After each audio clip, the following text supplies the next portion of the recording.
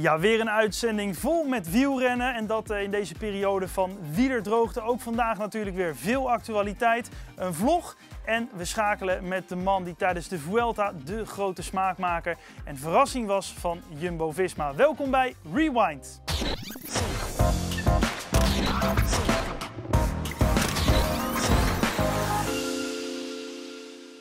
Ja, leuk dat je kijkt. We gaan uh, schakelen dus met een van de renners van uh, Team Jumbo-Visma. Ik zei het net al, uh, we hebben hem kunnen zien tijdens de Vuelta. En met hem gaan we terugblikken misschien wel op een fragment uit die bijzondere Vuelta voor Team Jumbo-Visma. Aan de lijn heb ik Seb Koes. We gaan schakelen naar het Engels. good evening, Seb. How are you? Good evening, Jeroen. I'm doing well. I'm comfortably at home right now, and uh, it's nice to see you guys uh, virtually. yeah, where are you at this moment? In is it in, in uh, Spain? I think, eh? Yes, I'm in Spain.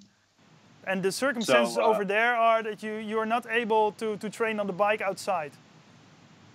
Yes, um, right now it's full full lockdown. Um, and uh, yeah, I, I, think right now it's it's week by week whether we can um, go outside or start to resume uh, normal life. But uh, yeah, it's a, a, global problem, and every, I think everyone's doing their their part. So hmm. um, yeah, the little things we we do, like staying at home, um, all contribute to hopefully ending um, this this period. So.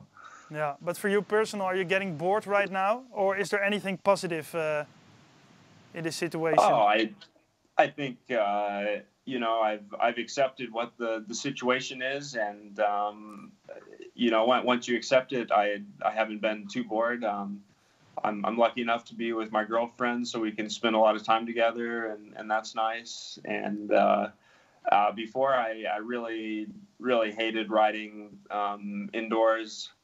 Um, but but now that I've kind of realized what the situation is, I've just made it a goal to uh, be more mentally strong and uh, riding the Tacx for, for more hours than uh, I'm I'm used to. So um, yeah, I think you can always uh, surprise yourself in, in, times like this.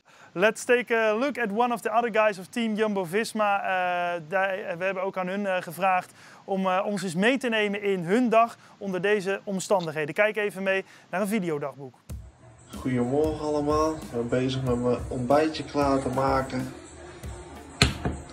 En dan gaan we straks lekker fietsen. Ook ik drink graag een bakje koffie. Niet zoals de meeste jongens. Maar ik gewoon nog op een ouderwetse manier. Ik ben vertrokken voor mijn training. Het is uh, prachtig weer hier. Ik weet nog niet waar ik heen ga. Drie uurtjes ongeveer. Maar dat is natuurlijk het mooie aan fietsen. Je kunt altijd overal heen gaan waar je wil. Mijn ritje zit er bijna op. Nog een uh, uurtje, dan ben ik weer thuis. Dan heb ik weer lekker gefietst. Ik uh, weet dat veel mensen zich afvragen waarom, uh, wat motiveert je nog om te fietsen. Ten eerste is het natuurlijk wel echt een hobby voor mij. En ja, ik denk alle profielrenners vinden het leuk nog steeds om te fietsen, helemaal met dit prachtige weer. Het is gewoon leuk om dan af en toe even de deur uit te zijn, lekker te genieten. En dat is eigenlijk ook ons dagelijkse ritme. Dat we wel moeten vasthouden natuurlijk. Dat uh, zorgt ervoor dat de tijd wat sneller gaat. En dan na de training even douchen. En dan heeft mijn vriendin een lekker zelfgemaakt brood gebakken eitjes, zelfgemaakte ijsthee. Even lekker smullen. Seb, you still have the, uh, the strong hope that you can ride the, the Tour de France? Yeah, I, I hope so. I, I think not not only for myself, but for uh, yeah, just for the sport in general. Um, I think it's it's important that we uh, do races like the Tour, um, but of course the the the situation with the coronavirus has to be, um, I think, manageable at that point. Especially being your first time, it would be um, ashamed to do it without fans, but but also if if that's the only option, then that's you know what what you have to have to do, and and I think we'll still uh, race with the the same intensity really, but um, also that you know people can enjoy it on TV.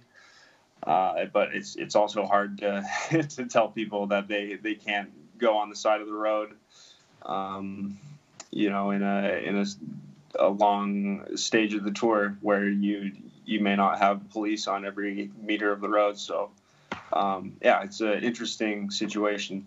Yeah, I hope there will be soon a final decision uh, about uh, the Tour de France and the rest of the season for you guys.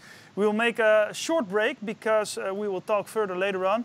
Uh, first we take a look, we kijken even naar uh, ja, wat er verder voorbij is gekomen op uh, de sociale kanalen van team Jumbo-Visma. Zijn betrokken voor de eerste aanloop op weg naar de echte start van uh, deze koers die we gaan rijden vandaag. De Jumbo-Visma e-race. Ja, het is uh, Timo Rozen die hem uh, wint. De sprint voor Mike Teunissen. Bobby, het lijkt erop dat we er echt aan zijn begonnen. Aan een serieuze finale. Nog altijd is het Sepkus in de eerste positie. 150 meter voor de Amerikaan Sepkus die in het peloton van 29 renners van Jumbo-Visma, het World Tour team en het Development team de beste is op Innsbruck Eagles. Hij wint deze Jumbo-Visma e-race. Ja, we gaan verder praten met uh, Sepp Koes, uh, de man die uh, opviel tijdens de Vuelta. En ik ga het hem natuurlijk vragen, what moment you have chosen for this... Uh, the biggest moment for me from from last year was, I think, the the stage win in the in the Vuelta. I think uh, the whole race was was really special. Winning the the GC with Primoz was was pretty incredible, and then um, yeah, w- winning a stage myself was was pretty unexpected and uh, yeah, un- unforgettable moment for me. Yeah, let's take a look uh, at uh, that day, at that uh, special afternoon for Sepp and for Team Jumbo Visma.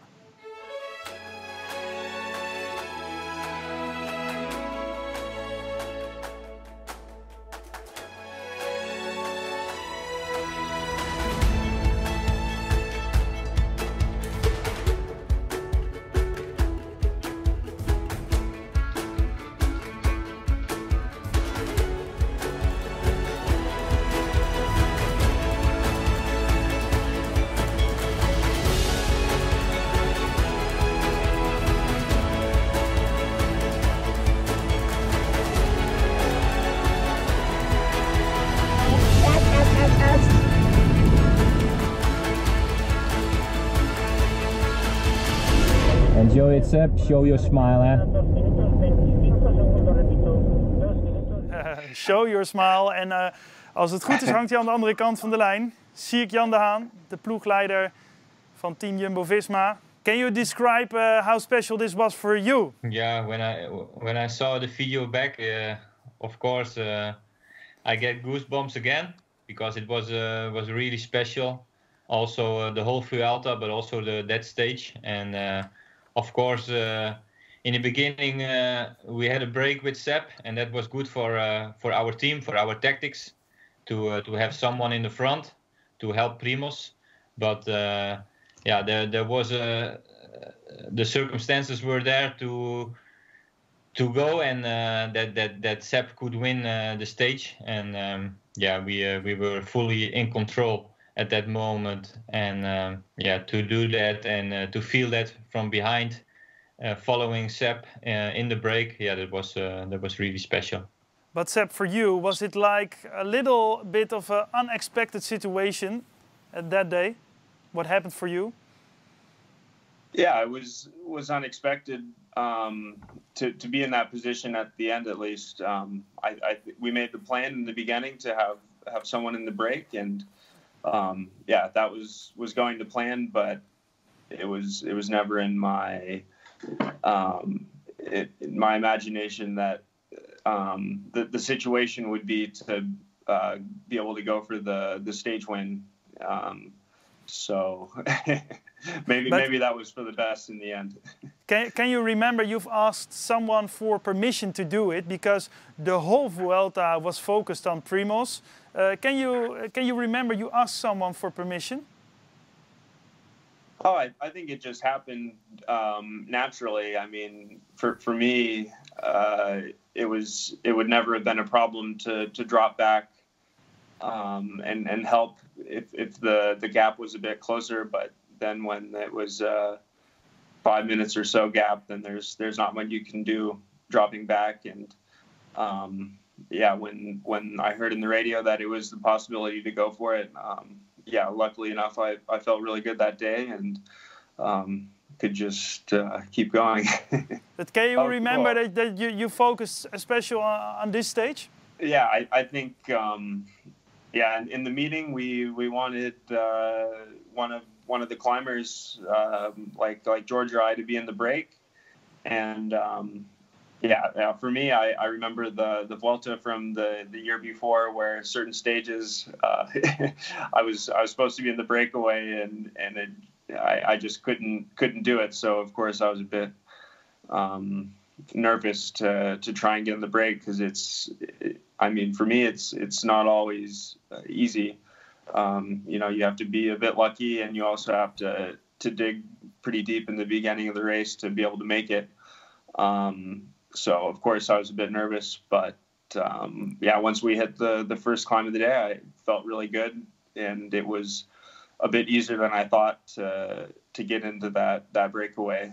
Um, I mean, not not easy, but uh, yeah. So yeah. it was it was nice to have that that first objective out of the way at least. And then after the stage, uh, there was a moment uh, you had a short meeting with uh, Primoz Roglic, and let's take a short look at that moment. Hey, congrats. Sorry, I couldn't be there to help you. No, you will be tomorrow. or the next I, I, I saved hey. a little bit. I saved some. I thought, okay, I, if I have 30 up. seconds, I, I can save. Uh... I had in my head up. Yeah. I was thinking, I said, hey, but but I, I, destroyed it. You felt a little guilty. Yeah, I, I, think of course. I mean, uh, from the from the beginning of the the whole race, we we everybody on the team knew that our only objective was to to win the the overall with Primoz, and um, yeah, you know, you don't want to uh, go against that necessarily, or or go for your own ambitions um, if it if it's a detriment to the the overall success. So um, yeah, I, I know that that Primoz is really ambitious and and he could have could have won that stage or I mean thankfully he was in a good place and didn't uh, necessarily need my help on that final climb but um, yeah I mean my, above all my my concern was for for mm-hmm. him and making sure uh, he was happy with the situation and um, yeah, that we were still going in the right direction to uh, win the race with him because yeah, he's the the priority. So. Yeah, you've chosen Sierk Jan uh, to join this uh, this show. Can you tell me why he's uh, such important for you? Yeah, I think um, with with Sierk, we he was my first uh, trainer on the team, and uh, I I think he's one of the people that really saw me progress from when I started with with the team and all the way until uh, last year and this year. Um, and he was also uh, my director in the Tour of Utah in 2018, and uh, so I, I always have good good memories of him when when he's in the car behind me and also on the bus. He's a really calm person, and um, yeah, it's just nice to have that shared um, journey together and shared improvements together. Yeah, Sierk, nice words uh, for you. Can you tell me a little through what times his career went uh, so far of Sepp? How do you see that? Uh, in the beginning, um, of course, it starts a little bit in 2017, but he was still uh, riding for Rally. And um, my colleague uh, Grischa was there, I think together with Franz, but uh, yeah, Grischa appointed us uh, after that uh, successful race for us because we won that race with um, with Georgie, and yeah, uh, yeah we that saw was also for, for uh, to, to to make sure that was in California. That was in California. Yeah, sorry, it was in California, and uh, we saw also uh, Sepp performing really well there, and I think he was on the Mont Baldy stage 10th or something, the second last stage, and um, overall. Uh, uh 25 uh, and 20, uh, between 25 and 30 in the GC, and uh, yeah, we thought uh, he has really potential, and we followed him that year, and he he was also really good in in Utah. in 2017, and um, yeah, that's why we we contracted him to join our team in 2018.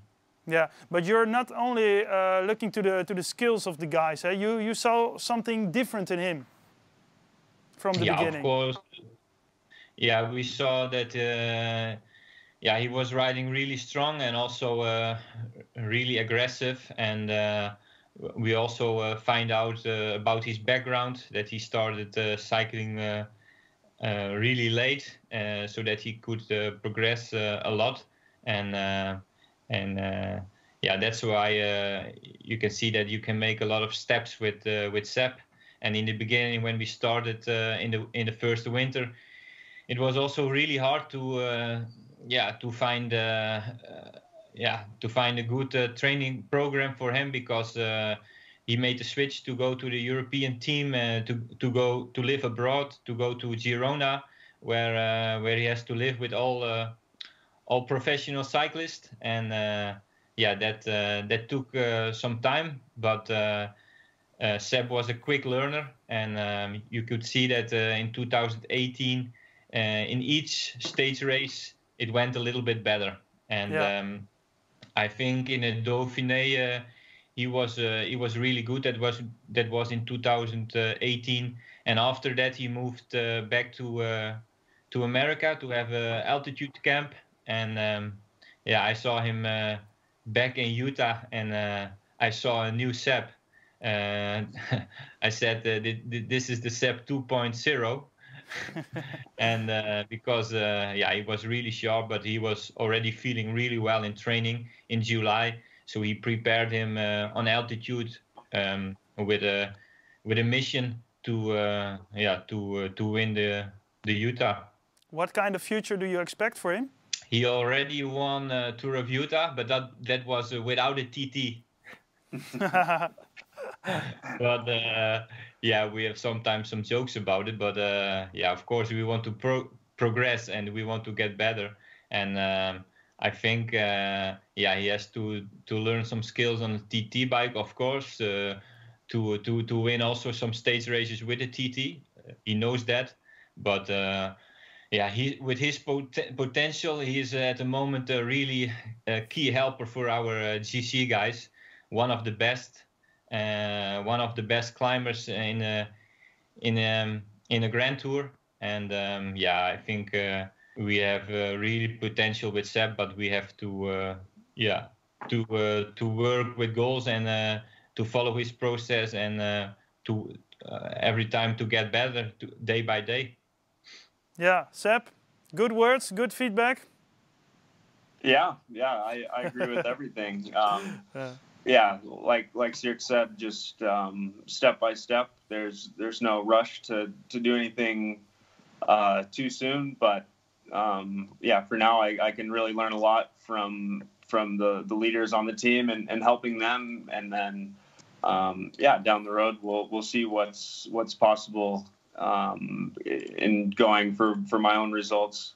Um, but yeah, there's a lot to work on, but it's also motivating to have have those things to, um, yeah, different different objectives.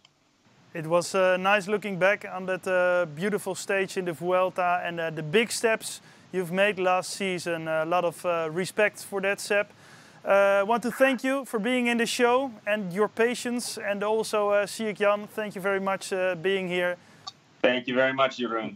Thank you. Tot zover Sepp Koes en Sierk Jan de Haan in deze show. Volgende week zijn we er uiteraard weer. Gaan we weer op een historisch fragment uh, terugblikken. Dat doen we dan met Jos van Ende en nog heel veel meer uh, in die uitzending. Wil je meer content van ons zien eerder dan die uitzending? Ga dan even naar ons platform toe. En uh, daar zal je ongetwijfeld mee uit de voeten kunnen voor de komende dagen. Wat mij betreft heel graag tot de volgende keer.